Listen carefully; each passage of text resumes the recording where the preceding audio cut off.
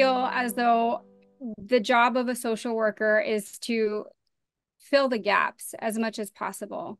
Uh, usually that means I am providing information and resources uh, that maybe, you know, is a new resource or nobody's really uh, talked to this patient about, you know, the availability before. Sometimes that means I am anticipating potential issues and I'm trying to be on top of it.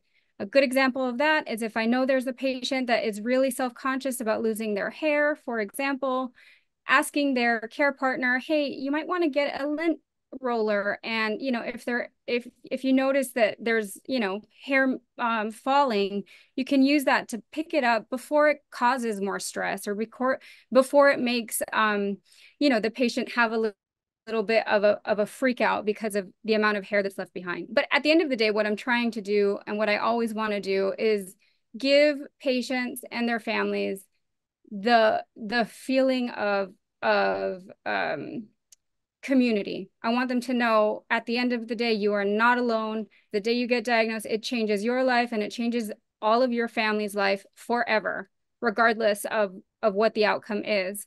Um, and so I want to be as much of a resource to patients and their families as I can. And the way the best way that I can do that is, you know, forming relationships, asking questions, being there whenever they need um, or maybe when they don't need me, right? Sometimes I just, you know, hey, how are you?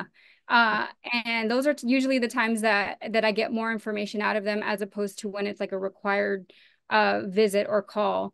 Um, just letting patients know that that I'm here and I'm doing this because I want to, and I don't. It's not that it's a job. It's it's because it's a passion. Um, you know, sharing evidence-based resources, organizations like Patient Empowerment Network. There are so many resources that patients they're so grateful to know or hear from somebody that is just able to give them just a couple tools in their tool belt um, that you know they didn't maybe they forgot about or you know they didn't even know that this resource was available. I do this because i, I want to be able to provide as many um, resources as much of a relief to patients and their families as i possibly can. And at the end of the day it's why i do what i do. It's why i'm a social worker. It's why I continue to to work with uh, cancer patients and their families, um, and I will continue doing that for the foreseeable future.